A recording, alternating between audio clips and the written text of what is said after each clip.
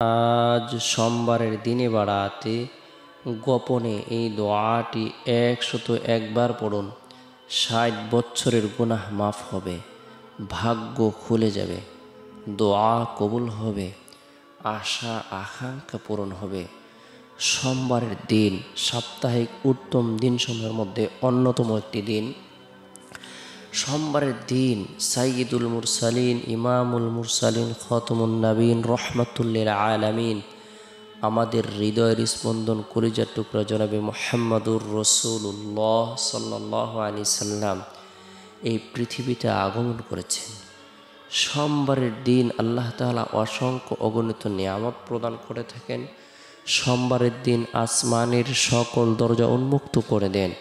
সোমবারের দিন সারা পৃথিবীর সমস্ত মানুষের আমলসমূহর রিপোর্ট পেশ করা হয়ে থাকে। সোমবারের দিনটিকে স্বয়ং নবী করিম সাল্লাহ আলি সাল্লাম গুরুত্ব দিতেন। এই দিনে আমরাও যদি নফল এবাদত বন্দী করি, নফল নামাজ পড়ি, কোরআন, তেলাওয়াত করি জিকিরাজগার করি তসবি তাহলিল, পাঠ করি, রব্বুল আলমিনের দরবারে রুনাজারি করি, আল্লাহ পাক রব্বুল আলমিন আমাদের জীবনের গুনাহগুলোকে মাফ করে দেবেন। আল্লাহ তালা আমাদের ভাগ্যকে পরিবর্তন করে দিবেন, জান্নাত অবধারিত করে দিবেন। দোয়াকে কবুল করবেন, আশা, আকাঙ্ক্ষাকে পূরণ করে দিবেন। বরকতপূর্ণ এই দিন আমরা প্রত্যেকে আমাদের সময়, সুযোগ, অনুপাতে নফল এবাদত বন্দি করার জন্য চেষ্টা করব। বিশেষ করে সোমবারের দিন ফজরের নামাজ সম্পূর্ণ করার পর গুরুত্ব সহকারে পবিত্র কোরআনের একশত বারো নং সুরা, একশত তেরো নং সুরা, একশত চোদ্দ নং সুরা, এই তিনটি সুরাকে তিন কুল বলা হয়ে থাকে।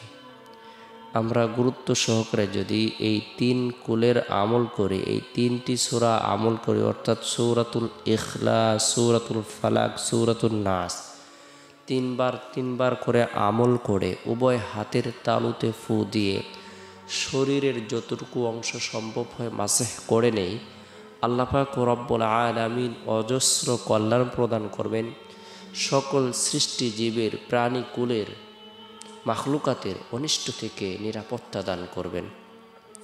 আল্লাহ তালা মানুষ শয়তান, জিন শয়তান, ভূত শয়তান, ইবলিশ শয়তান খবিস শয়তান, সকল ধরনের শয়তানের চক্রান্ত থেকে নিরাপত্তা দান করবেন। কঠিন বালা মুসিবত থেকে আল্লাহ পাক রব্বুল আলমী নিরাপত্তা দান করবেন, হেফাজত করবেন। গুরুত্ব সহকারে আমরা বরকতপূর্ণ এই তিনটি সোরা ফজরের নামাজের পর আমল করার জন্য চেষ্টা করব। এরপরে সোমবারের দিন জোহরের নামাজ সম্পূর্ণ করার পর নিরিবিলি এক পরিবেশের মধ্যে বসে গুরুত্ব সহকারে গুনামাফের উদ্দেশ্যে তওবার নিয়তে একশত একবার ইস্তিগফারের আমল করব। আস্তাগফিরুল্লাহ রব্বি মিন কুল্লি যামবি ওয়া আতুবু ইলাইহি। আস্তাগফিরুল্লাহ রব্বি মিন কুল্লি যামবি ওয়া আতুবু ইলাইহি। যে ব্যক্তি গুরুত্ব সহকারে ইস্তিগফারের আমল করে, আল্লাহ তাআলা তার উপর এত বেশি খুশি হন এবং আনন্দিত হন। তাকে পছন্দ করেন, ভালোবাসেন, আল্লাহ তাআলা তার জীবনের সগিরা গুণাগুলো, কবিরা গুণাগুলো মাফ করে দেন, তার অন্তরটাকে আলোকিত করে দেন, তার শরীরের অঙ্গ পতঙ্গ দ্বারা যত গোনা হয়েছে, হাতের গোনা পায়ের গোনা চক্ষুর গোনা জিব্বার গোনা কানের গোনা আল্লাহ তালা সকল গোনা কাতাগুলোকে ধুয়ে, মুছে, নবজাত শিশুর নিষ্পাপ করে দেন।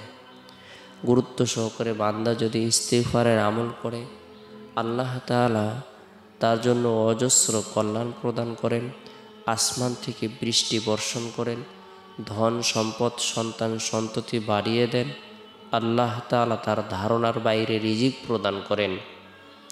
মাল্লাজিমাল ইস্তেকফার জাআলাল্লাহু মিন কুল্লি দাইয়িকিন মাখরাজান, ওয়া মিন কুল্লি হাম্মিন ফারাজাহু মিন হাইথু লা ইয়াহতাসিব। যে ব্যক্তি ইস্তিগফারকে আঁকড়ে ধরবে, সর্বদাই ইস্তিগফারের আমল করবে, আল্লাহ তালার প্রতি ভরসা রাখবে, আল্লাহ পাক রব্বুল আলামিন এমন জায়গা থেকে তার রিজিকের ফায়সালা করবেন, যার ব্যাপারে তার কোনো কল্পনাও ছিল না, ধারণাও ছিল না। সুবহান আল্লাহ মাল্লাজিমাল ইস্তিগফার সুবহান আল্লাহ ইস্তিগফারকে আমরা আঁকড়ে ধরবো, এটাকে লাজেম মনে করে নেব আবশ্যকে মনে করে নেব।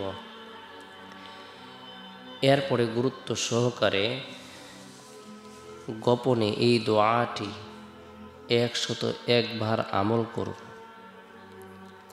আল্লাহ তালা আপনার আমার জন্য সকল ধরনের রহমতের দরজা উন্মুক্ত করে দিবেন, বরকতের দরজা উন্মুক্ত করে দিবেন, গজবের দরজা বন্ধ করে দিবেন।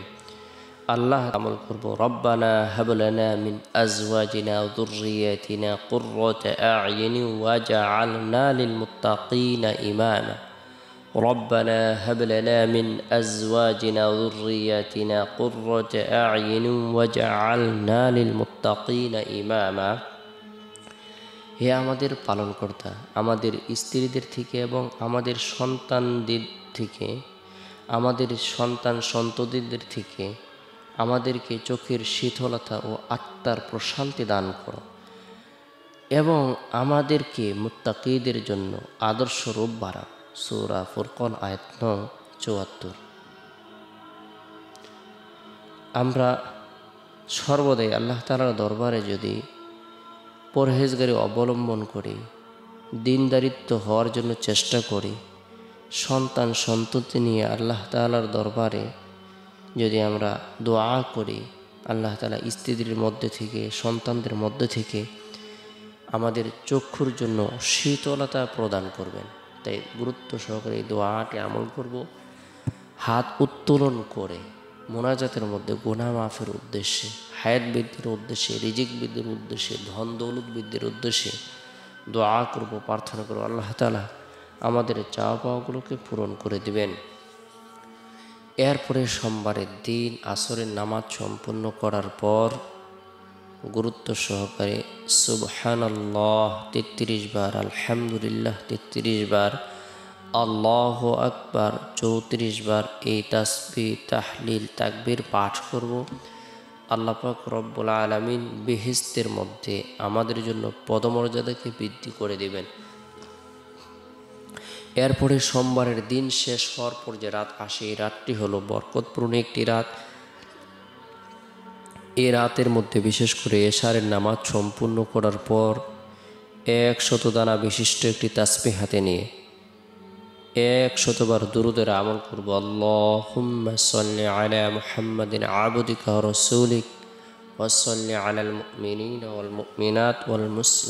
ওয়াল মুসলিমাত। اللهم صل على محمد عبدك ورسولك وصل على المؤمنين والمؤمنات والمسلمين والمسلمات যে ব্যক্তি গুরুত্ব সহকারে এই দরুদের আমল করবে আল্লাহ তালা তাকে ধনী এবং সুখী বানিয়ে দিবেন তার সকল পেরেশানিকে দূর করে দিবেন তার উপর খাস রহমত বর্ষণ করবেন গুরুত্ব সহকারে এই দরুদের আমল